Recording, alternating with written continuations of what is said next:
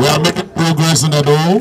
Governor Godwin Obaseki presenting the 4 Brigade flag to the army, thereby signifying flag off of the exercise. Governor Obaseki said security of lives and property is crucial if meaningful development is to be achieved. The governor described Operation Stillwater Phase 3 as timely, as according to him, Ember Month is a period of the year characterized by heightened criminal activities and thanked the army for the gesture.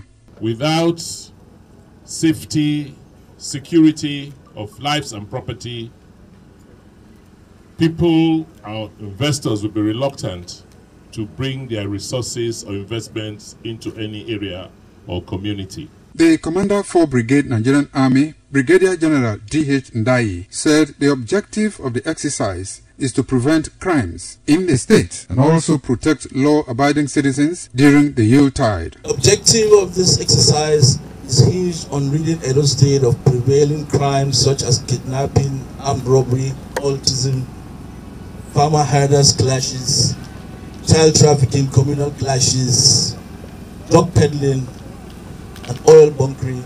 The Enoge of Obage Newosa thanked the Nigerian army for their effort and for considering the security of the area. The Enoge's message was presented by the General Secretary of the community, Mr. Wilfred Otasowe. I must say without fear of contradiction that this exercise came at the appropriate time.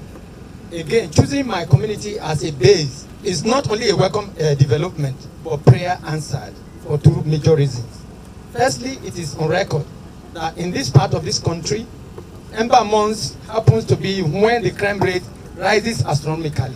Governor Godwin Obaseki was later conducted round the army encampment. The 4 Brigade Nigerian Army Exercise Stillwater Phase 3 also include a free medical exercise to the people of Amagba community in Ikpoba Okha local government area. Bringing medical care to this community, we are very grateful. We have not seen it before. Give us gladness to know that uh, the military they are not only out there for war. We dey think say army wicked but today we know that they are not wicked. Civil commissioners, local government chairmen and other government functionaries witnessed the exercise. Pius Nsogo, ITV News.